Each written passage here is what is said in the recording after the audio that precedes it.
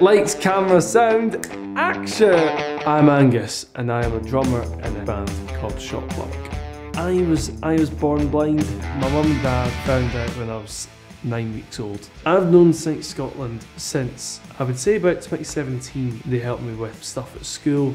They showed me the basics on how to work my braille note touch, even just basic things like building a CV. They also included the mobility before I moved on to the adult services and taught me independent living skills as well. Started getting drum lessons about January 2015. Did them till about June last year, eight years. Last year, I was like, you know what, it's not the end of drumming, it's on to the next chapter that I'm currently living right now is being in a heavy metal stroke grunge band called Shotlock, which is honestly incredible.